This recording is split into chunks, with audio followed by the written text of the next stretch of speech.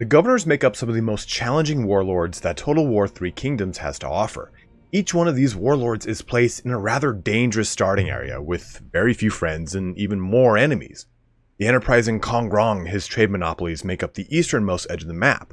Liu Biao and his starting vassals, as well as student, scholar, and tutor court positions, start smack dab in the middle, with probably the fastest access to Lu Bu in the game next to Zhang Zhuo, of course. And lastly, Ma Teng, the protector of the West, is, well, far to the west, with the easiest access to horse pastures. In today's video, we're going to talk about all three of these warlords, how to get a better foothold in their campaigns, as well as some tricks for each one.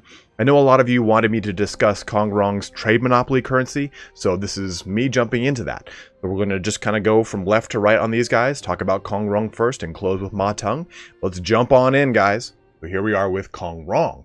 Now, Kong Rong's mechanics are, of course, focused on his trade monopoly unique resource. And it isn't so much a unique resource in that you spend it in the typical way you would other factions. It's why I actually kind of skipped it in the um, Warlord Currencies video that we did. But we're going to talk about that nonetheless here today. So his specialization is on the trade monopoly as well as population. And the higher his population, the more trade influence he gets. And if you don't know what trade influence does, we'll go over it in a little second here when we jump into the diplomacy screen. But he gets two unique crossbowmen, the Fury of Beihai and then the Thunderer of Jianan. In addition to that, he gets the Academies of Culture. He gets an education program, which is a, a, special assignment for him, which increases commerce or his income from commerce, and he has a loyalty to the Han. So he cannot declare as emperor by creating an emperor's seat. Uh, can become emperor by capturing the capital of an existing emperor. And I'll be totally honest with you, when it comes to the governors as a whole, it's typically a little bit harder to do the whole emperor victory condition.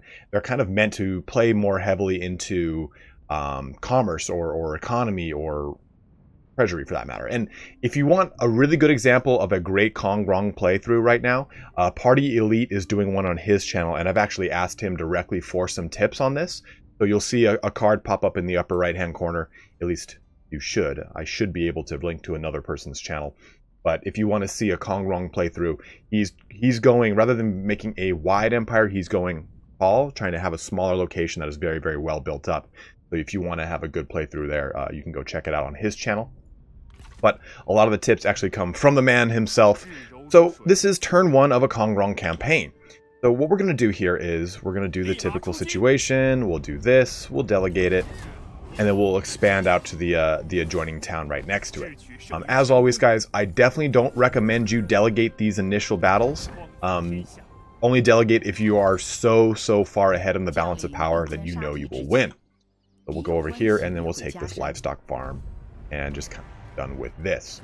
This will help me kind of exemplify how to best progress with Kong Rong because he has a very special starting location in that he starts right next to Liu Bei, but also Yuan Shao, which is going to be your primary enemy of your campaign. Yes, yes, I know. Let's take a look here. Now that we've kind of got a little bit better of a situation, short by yep. So we can see that Kongrong is right here, where Beihai is, and then we to the east we have uh, Donglai and then Longyi. Now, Longyi will be captured by Liu Bei pretty quickly. Liu, Liu Bei starts right here. He will take the uh, the iron mine of Dong and then expand southeast to Longyi. So you have a lot of options as Kong Rong. You can immediately expand to Taishan, putting you right next to Yuan Shao, and I wouldn't really recommend this unless you're really ready to deal with that level of aggression that early in the game. Um, what I would actually recommend is one of two options. One, you can come down here to Longyi and take it immediately. If you do, then Liu Bei cannot expand northeast into this portion of the peninsula. Um, Liu Bei does have his Unity resource, which allows him to annex any of the Han Empire. Now, by taking Longyi here, Liu Bei then cannot leapfrog you and go into these regions. He will not trespass willingly. In fact, I'll show you how we can really cement the fact that he won't trespass. And the only way he would expand out here would be to uh, use a boat. And that's probably very unlikely. So Um, before we jump our turn and go further into some more details with Kong Rong, I want to go over his actual character sheet. We hover over this, we can see that he gives a nice increase to population growth, which plays into his mechanic wherein population growth or population increases his trade influence. In addition, he gets nice plus one to his resilience and then a 50% trade influence bonus. Now, the way trade influence works is, you see that right here, uh, our current trade influence is 117. Now, the higher our trade influence, the more money we make from trade agreements, and those and those uh, tra that trade influence can be influenced heavily by trade monopoly. You can see the very first stage is stagnant, all the way up to whoop, there we go, dominating. Now, this is a reduction to the trade monopoly. It kind of uh, creates uh, tension in the market, and it's basically like the decay of his um, resource, as it were. But you get a 100% increase to your trade influence. And then when we take a look at uh, his unique building line, Academies of Culture, and we hover over the, the top two, Grand Public Academy allows him to have a, lar a large public growth, public order, and then income from all sources, which is pretty nice. But Grand Academy of Poetry gets you again that public order, gets you some nice population growth. You get a, a, a, lower population growth, but you get a higher income from culture. Well, you get income from culture, period. In my opinion, I would say the Grand Public Academy is a little bit better because it plays into a lot more mechanics for Kongrong, um, especially population growth and income from all sources. Um, and I'll talk about peasantry income as we go through uh, how to build out his commanderies. But we're going to go ahead and end, yeah, end this turn so we can go into some diplomacy options here and show you how trade monopoly really works. Because as you progress through this campaign with Kongrong, you'll get a lot of trade agreements coming your way from the AI. Kongrong starts with three trade agreement options right out the gate. Um, go to diplomacy here, and you can see he's got three trade partner options. Some people start with one, some with two, some with zero he, I think, is the only one who starts with three. So Liu Bei has taken over those mines, like I said he would, at Dong. So we're going to click Liu Bei. We're going to negotiate, trade and marriage. You'll see you've got two options here. Trade agreement is just your standard edition trade agreement. And you can see from the text, it's only going to add one line when I hover up. Boop. Negotiate a trade agreement with this faction, which will increase your trade monopoly. That's the key phrase there every time you're going to get a trade agreement from an AI faction during their turn, it's going to be an offer for a trade agreement, not a monopoly. So it is up to you, the player, that when you are offered this by the AI, you press negotiate and you you change the you change the offer from an agreement to a monopoly. It should go through just fine, but if you don't, you will not gain the benefit of the trade monopoly resource of Kong Rong See here. This is what we're going to gain. We're going to gain iron, and we're going to get 336 uh, copper gold per turn. Boom, there we go. So now that we have that signed, it is also, it is pretty much going to cement us taking Long Longyi as a way to stop Liu Bei's expansion. He's not, again, like I said, Liu Bei's faction um, mission is to protect you and Tao Qian, right? Or not Tao Qian. Um, there's a there's a faction right here, and I can't remember um, who it is. It might might actually be Palcheon. I can't remember again, but still, he's right here, and his mission is to protect both of you. So if you do this, Liu Bei is very much unlikely to expand to these northeast portions. And once you cement this area, the whole peninsula is going to create so much income from you for you. So taking a look at where Beihai starts, um, my very first order here would be, in fact, I probably should have done this on turn one, is go to assignments, go to uh, Sun Shao, and I would assign supervised construction. The reason you're doing this on turn one is you don't really want to build anything on turn one, or if you do, you want to build something that only takes a turn to build, and this thing is not going to benefit it, right? So we're going to assign this, and we'll even do this this turn. Let's just go ahead and and I'll, I'll explain why we're doing this. We're going to build a government support building which is going to increase our income from peasantry. So next turn, sorry, uh, next turn, we can then build a large town, which rather than taking four turns, it will take three turns. So that's the primary focus there. Now, we want to stack a lot of peasantry income with Kong Rong because you start with Beihai, which has got a livestock farm attached to it. Now, the lumber yard, the fishing port, and the farmland uh, are your next income sources. Two of the three of those are going to be from peasantry. Your fishing port will, of course, be commerce. So this really begs the question, how do you go with the reform or reforms for, I always say reform, with the reforms for Kong Rong? Well, you obviously start with foreign envoys, which gives you access to upper level fishing ports. You kind of have that um, cemented. You can then go to Sino-Roman embassies and get you again, get you again them, them grand fishing ports. But you're also going to want to go with stuff like this. Get you access gets it gets you access to um, the upgraded version of your timber or your your lumber yards. You can get more peasantry income from them. So really kind of dipping into both the population, which is the green line, and then the commerce portion, which is this blue portion, um, is going to maximize the amount of income you're generating from your single commerce building and your primary peasantry buildings. So to really maximize that, you want to get a um, government support building because this will increase your income from peasantry by 100% at the top level. Um, and you want to focus in the fishing port, maximizing that as fast as you can. You will run into an issue with not being able to cement Longyi because you've got Liu Bei there, but that's okay.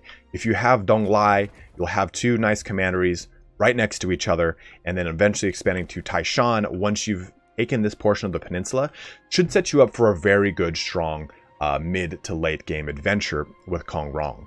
Um, going through some of the techniques, or I'm sorry, not the techniques, some of the tips from uh, uh, Party Elite, he was saying pretty much that Taishan and Donglai will really give you a lot of great financial hubs for a lot of early game income. And that is really going to be your, your focus there, right? Is once you have all this income cemented, your war against Yuan Shao over here will be a lot easier for you. Because if you take a look at Trade Monopoly, every army reduces faction-wide trade influence by 35%.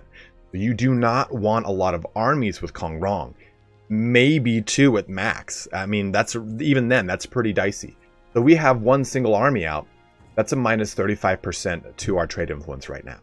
So you do have to balance that kind of fine edge when you're dealing with Kong Rong. But hopefully this gives you a lot of really great tips on how to play him. Um, you have a lot of routes of expansion, but be totally honest with you, I would hold this peninsula and then at, with your war with Yuan Shao, I would just kind of push into his territory as see fit. Uh, let Liu Bei expand to where he expands and kind of keep him as a close ally.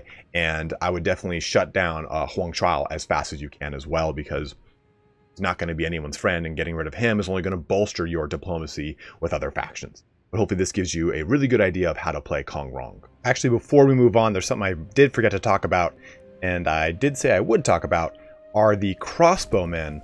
So when you take a look over here at Recruit, Going to open up the panel for the Fury of Beihai. Now, I've got the toggle comparison. A pain in the ass to right click them. Toggle comparison activated right now. Um, these are your standard edition crossbowmen. These are your special ones that you get as uh, Kong Rong. Uh, he, of course, is a strategist, so he gets access to stuff like trebuchets and uh, special archers. Now, hovering over these guys, the normal crossbowmen, you can see if I look at this, uh, yeah, ranged attack rate is 12. If hover over, you can see that it is better than normal crossbowmen, which have a range attack rate of 7. So this is the nice thing about the uh, Fury of Beihai is that they have a high damage, high AP, or armor piercing value, um, just like light crossbow, crossbowmen would have. But in addition to that, they have the same firing rate of archers. You can take a look here that 12 and 12 is the exact same. They even have a better ammunition reserve uh, by comparison to archers. So that's the kind of the nice caveat that you get with the Fury of Beihai, in addition that you get uh, a higher ammunition, the same firing rate of normal archers with bows, but with more damage and ranged uh, armor piercing damage. But I wanted to cover that uh, uh, last thing real quick before we jump over to our next war next warlord. Now our next warlord, Liu Biao, does not have per se a unique currency, but he does have some unique court mechanics that do make for, again, a very unique uh, playstyle. Uh, his focus is, of course, on harmony and knowledge. Court tutors increase character experience gain. He does have two nice, uh, unique infantry units Infantry of Jing and then Imperial Defenders. These guys are pole arm, pole arm infantry. He also has his lodgings building line. He has court scholars, which is a special position we'll go into in just a little bit. And then loyalty to the Han, yet again. Again, this is my whole emphasis on going for the Emperor title with the governors is typically not the best call. I would just kind of uh, segue that into a different approach for your campaign let's take a look at the uh, the starting location for Liu Biao itself. Now, like I said, it is smack. I always like to switch to ownership. It's smack dab in the middle of everything. Dongzhuo is up here. Yuan Shu is right here. Hong Yi is right there. Um, you have two vassals in Sai Mao and uh, Huangzhu. Then you've got uh, any a bunch of Han Empire all all throughout here. Now Sun Jian starts right. It doesn't show him on the map, but he's right there. Um, he does not. He has this the beginning of this commandery of Changsha right there as well, and we'll talk about why that's important in just a second. So, what are we going to do? The typical kind of scenario. We'll do this. I will delegate it because I, even though I say not to delegate, I am just going to do that for the sake of this video. Fruit. Yes, yes, yes. And then do the standard edition push to Xiangyang.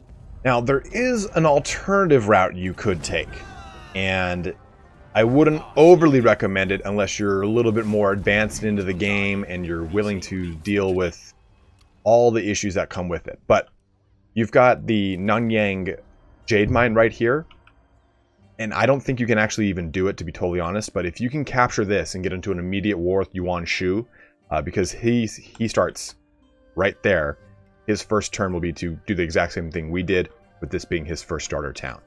Um, but the jade mines are extremely important, extremely important. And the reason behind that is we take a look at lodging, his unique building line. It increases income from commerce. Also, the, uh, well, income from, it gives income from commerce and then increases in commerce. And as well, you've got the Gentleman Tea Garden, which will increase that income from commerce a small reduction to the percentage increase income from commerce, but you get a 15% character experience gain. So the nice thing about Liu Biao is that you can really steamroll big bad characters quickly because of this in conjunction with his uh, court positions, which we'll go into in just a second. Um, now, why I'm saying jade mines are so important is that they're some of the only ways to get access to commerce in the early portions of Liu Biao's campaign. This is one of the only other jade mines in the game. The second one, I think, is just around here. I think it's like right. Yeah, it's right here. This is a jade mine. There's only two jade mines on the entire map. And why jade, why I'm saying jade mine is if I go to reforms, I go to is it this one, I think. Yes. This will show us what the level 5 jade mine will be like. So a level 5 jade mine will give us income from commerce and industry. Almost all mines are exclusively industry. As you can see here, copper mining, iron craftsman is industry. This is the only mine that gives us commerce as well. The only other means of gaining commerce are from trade ports. And the closest trade port at this point in the game is around, oh man, um, well, you've got this one at Changsha right here, of course. And then you've got another trade port way to the north right there um, in Anding and Dongzhuo's territory. So the only other trade ports outside of this that are, are even relatively close are like down over here. Uh, there's actually like two trade ports on these uh, on this portion of the river. So it's really hard to take advantage of that commerce gain from lodging if you don't make the buildings that will help increase your commerce. So you can make the lodging building line, which will give you raw commerce income. Um, schools do not give you commerce income, obviously. Then the marketplace will increase your commerce income again. So this is me saying that the lodging line is really, really cool and gives a lot of great options for um, Liu Biao, but he just doesn't have a lot of access to commerce building or income from commerce. So this is one of the only ways to get an early access to it. But let's touch on another subject, of course, the court. So going into the court, we can see that there's the student, scholar, and tutor positions of Liu Biao's court. And if we click this button and hover over uh, Liu Qi, we can see that this will give him 25% character experience gain. This is a really great way to level up characters fast. Like especially if you get a uh, legendary character in your candidate pool and you want to get up and running quickly, this is a real great way to get that character up to speed quite fast. Now, Liu, Liu Biao uh, does present himself a lot of interesting scenarios in his starting location. Um, I find that vassals are not particularly useful. In fact, I find them very, very dangerous because they can pull you into a lot of unwanted wars. So I use my vassals as kind of cash cows, and that's really the way I think they're supposed to be used. Um, I pretty much won't do anything with, but Guangzhou does start with a farmland, and you can see we have a lot of food issues with Liu Biao, so you can leverage this in the diplomacy screen that I'll show you guys on our next turn. Now, you've got a lot of options for expansion with Liu Biao as well. So you can go south into what is all Han territory, and this is probably one of the safer routes you can do. If you move south, you don't really have much opposition aside from Han. Um, it does kind of get a little boring because you're just fighting a bunch of Han territories. Um, you can move west into Dongzhuo and eventually actually fight him. If you do that, you'll end up with a lot of positive diplomatic relations with the rest of the entire portion of the game. Uh, Cao Cao, Yuan Shu, Yuan Shao, they'll all like like you a lot more because as soon as Dong Zhuo's nation dissolves, you've pretty much uh, already kind of gotten their buy-in from all of what you're doing. Um, it does kind of limit your expansion because uh, you're going to be dealing with a lot of eastern expansion as well, gobbling up Dong Zhuo's territory. So this might be the safest route, but the slowest. This will be a safer route, but a, I think a good speed. Now, a harder route, um, but with a lot of reward, is blitzing over here to Changsha's trade port. This will be a focus for Sun Jian very quickly, very, very quickly. So if you can beat him to this and get in a war with Sun Jian immediately and actually knock him out as an, adver- an adversary at the very beginning, you won't deal with the late game power menace that is Sun Jian. He gets so strong towards that late game. This is a really great way of shutting it down uh, getting you access to an early commerce building, and at the same time, kind of cementing your territory. You're going to deal with nothing but Han over here for the most part, so you'll be in a real good position to be removed from a lot of the major conflicts and build up your power base to then expand north, west, south, east, however you want to go. Um, just be, like I said, be wary that this has a chance of backfiring you on you and creating a very prolonged fight. One thing I did talk about in the very beginning of this video, though, is the possibility of acquiring Lu Bu very quickly. Now, what I'm about to show you is not something I would recommend for a beginning player wanting to play Liu Biao. It is going to put a lot of stress for, on you to really deal with the relationship issues that Lu Bu will bring to the table. But, what the hell? Let's, so, let's show some fun stuff. So we're going to go to our court go to our family tree, go to Lady Sai, left click her, and then we're going to press divorce. So we're going to wait a turn now. And what we're going to do is we're going to demand the marriage of Lady Sai to Dong Zhuo's faction heir, which is, of course, Lu Bu. And we're going to get access to Lu Bu right quick like. So we'll click um, hmm, diplomacy. Then we'll go to Dong Zhuo, who is already firm friends with us. Negotiate. Now you go to trade and marriage. Do not press offer marriage. I did that the first time testing this, and I was like, what the fuck? I didn't even get Lubu. You want to press receive marriage. Boop and boop. It will not be a, a favorable situation. Um, what you're going to do, though, is go back to trade, go to trade ancillaries, and just, I'm going to put everyone into this that I can. Whatever, whatever it takes to kind of make it happen. Um, I might actually not have enough ancillaries in this situation. Ooh, we don't.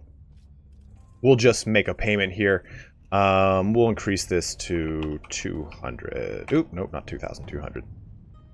All right. You drive a hard bargain, Dong Zhuo. 300. Bitch. 400. My final offer. My god, man. There we go. So, this will work. Deal is signed. We'll go back here, and you can see marriage, Lady Sai and Lu Bu. Uh, proposer, Lady Sai. Recipient, Lu Bu. Recipient faction, Liu Biao. So we'll go back to our court, and we can see Lu Bu is in our court now. You can see from this picture, he is pissed off. So you have to really mitigate his massive desire for a higher court position. I mean, he's having a tantrum already that he's not the faction heir.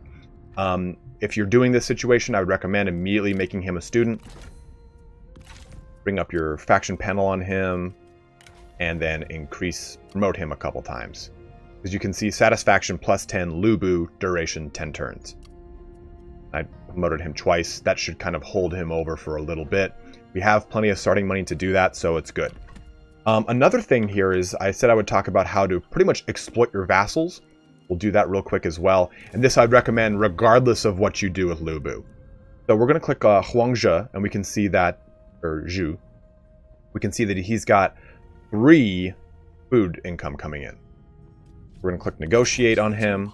We're going to go to Trade and Marriage. We're going to request Food Trade, because we need three, as we can see.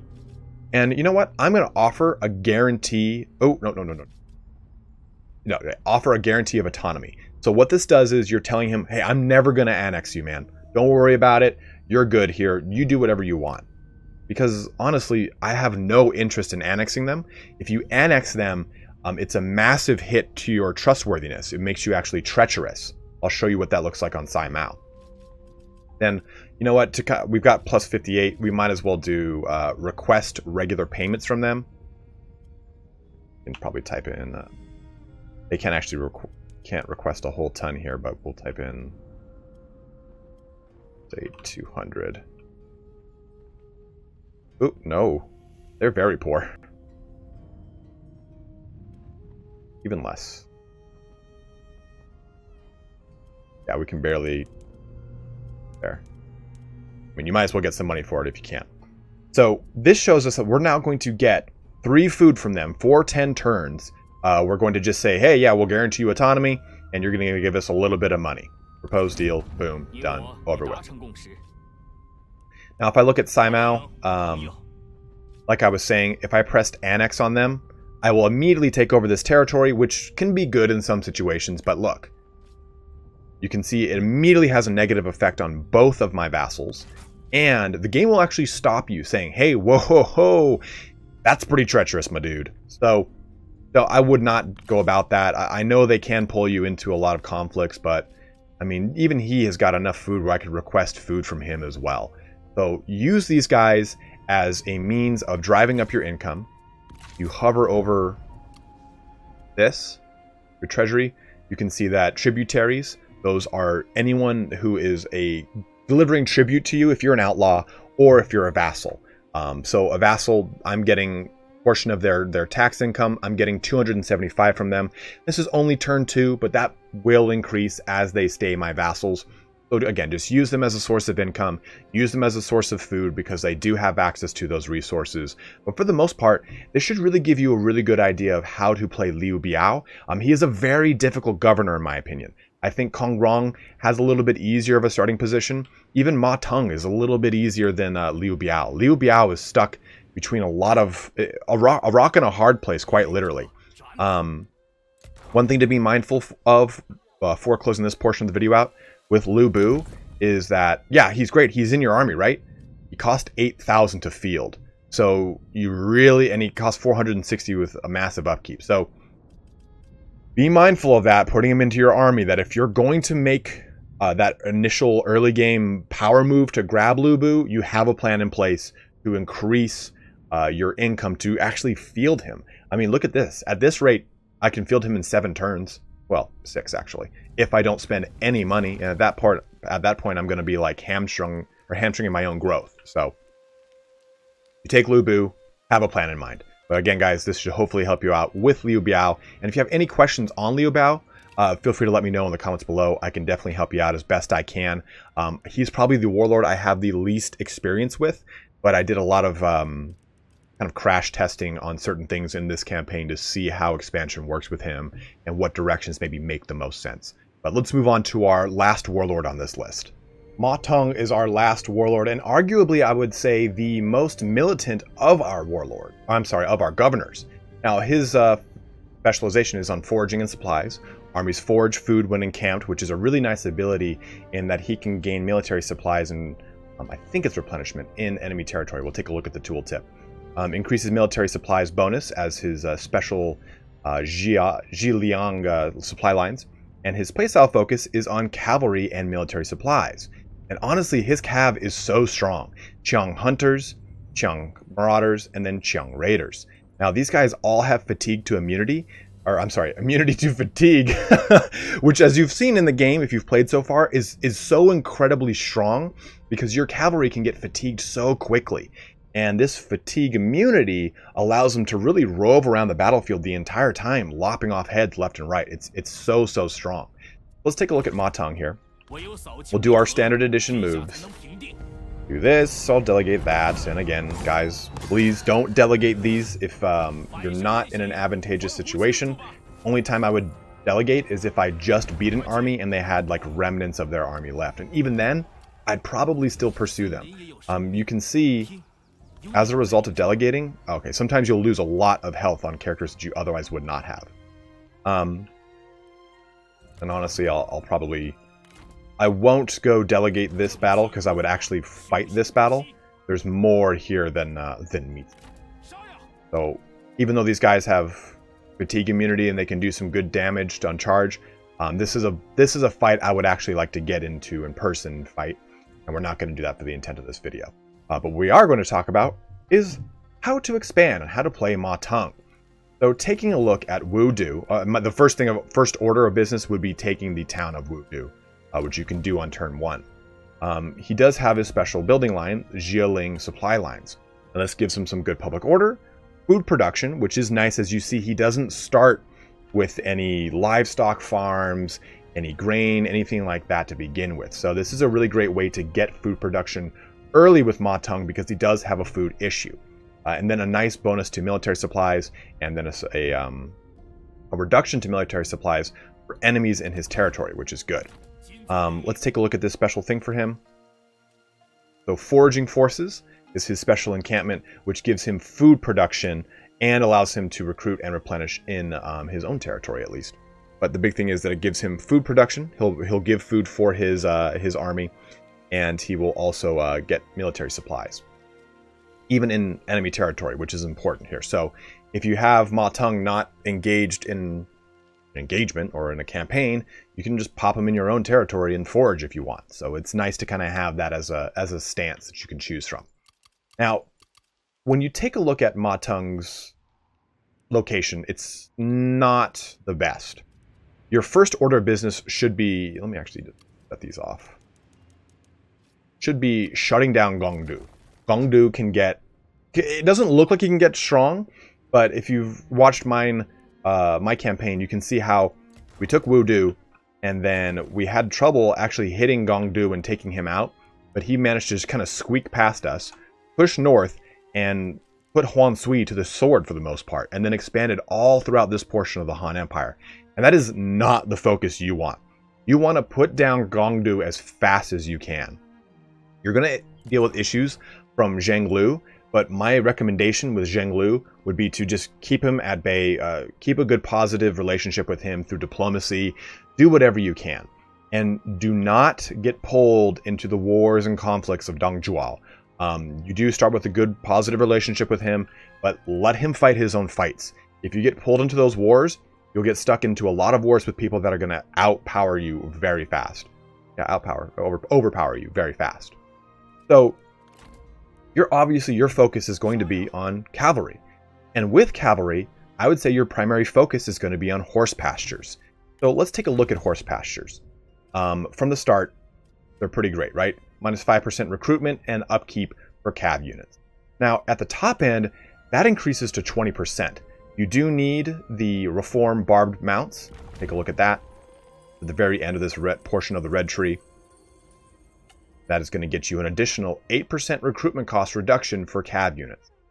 And this is strong because uh, I can't show you on this, or we'll, we'll end this turn to, just so I can show you. But the recruitment cost for his unique cav units is substantial. I think it's like 3,400 right out the gate. So getting that reduced as fast as possible is going to be key. Let's take a look here. Oh, um, pop right back there. Now press recruit. Yeah, uh, there we go. Qiang Hunters is 2,800. That's just wild. 3,200 for Qiang Marauders. So, getting that reduced as fast as possible is going to be key. Your your Qiang Raiders, the very last one here, that they I think are 3,400 to recruit. So, how do you do that? Well, there are four horse pastures in the game. Um, some resources are very limited. Like for instance, we talked about the Jade Mine earlier. There's only one, what, like right there and right there. Wherever the second one is, like, oh, right there or something like that.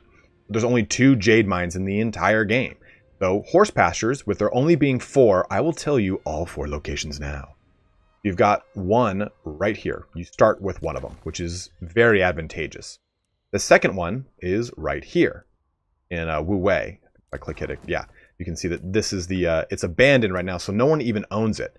So you need this horse pasture, and then your last horse pasture is right here, I believe. Look at the map here. No, right here, right here. So this location in uh, Shuofang, this location in Wuwei, and then this location, which we already have um, over here in Jiangyang, or uh, Jinchang. The last horse pasture is over here in Dai. Uh, if you want to blitz for it, that's great. That would mean that your recruitment cost and your upkeep cost would be zero for your cav. Oh, first Dai. There's Dai. Um, but it's really hard to get to. You have to deal with quite a lot going through these mountains or over the over through the uh, Yangtze River, whatever you want to do. That's not the Yangtze River. My bad. But still, my point remains is getting to the Dai Commandery to take it from Gongsun Zan is going to be way more difficult than it is. Just get the 20 uh, 40, and then 60, uh, 246, yeah, 60% that you'll get from these three alone. Uh, when you get this one, will get you up to 80, and then you've got other bonuses that'll put you at 100% pretty much. Um, you do also get an animal tamer right here, which is pretty nice. Um, the commandery for this, for Shuofang, is all right there. So this is all abandoned, I believe. It's not actually um, uh, controlled by Han Empire, so taking it is even easier. But that would be your my primary recommendation. My primary goal here would be so to recap, go take Gongdu. That should be number one. mash out Gongdu, take that copper mine. You'll get a lot of good commerce trade from that copper mine. But silk is also in abundance in this portion of the map. I think there's only um, like four or five silk in the entire game. Um, there's, there's three uh, silk resources, and two of them are right there. And the third one is right there. So this brings me to my next point. After you take Gongdu, and then you take over this portion of Wu Wei and then uh, smash out Han Sui. Han Sui, yes, I know he's your bro, he's your ally, that's great. But by keeping him as an ally and keeping it so that you're taking out any opposition up here, you're pretty much ensuring that this silk trader stays free for you to capture. Because once you take these locations, and then take Han Sui, there is, you can see there's no northern enemies. All of your enemies will be to the southeast for the most part, and your southern border will be pretty much um, already previously conquered and maintained. So, that leaves a natural progression for your reform tree as well. You can focus then, thusly, on your silk trade. I believe it was a blue. I, I can't remember now off the top of my head. Uh, where are you? Yes. No. Maybe so. Look at me, not knowing what I'm talking about. But still, um, you can then focus on your silk reforms, which are going to be huge because you will have the only two of three silk traders on the entire game. And then from there, you can expand outward and take you get a yeah, you can get a, a, silk expedition trading port if you cement a trading port, which you start very close to. So you need the silk resource and a trading port. Then you can create this, which gives you a 40% income from silk bonus. So you have a lot of ways to stack your, your uh, income from Silk and from that trading port, which is not too far from your starting location. I wish I could show you guys the Silk building. Uh, uh, uh. Well, still, nonetheless, my point remains, well, you know, hey, you want to know a really fast way to check it? You do this, you right click that, you click this building, and you click that. And there's our silk buildings. So here you go. Get all your uh, your Grand Silk Road market. Gets you a massive income from silk and then a massive increase percentage wise from silk. So you'll be getting these two territories, these silk resources, and then eventually this third one once you decide to kind of push into Dong Zhuo's territory after he's kind of dissolved a bit. And you can even try and push for this port in, um, what is this? Is it Anding?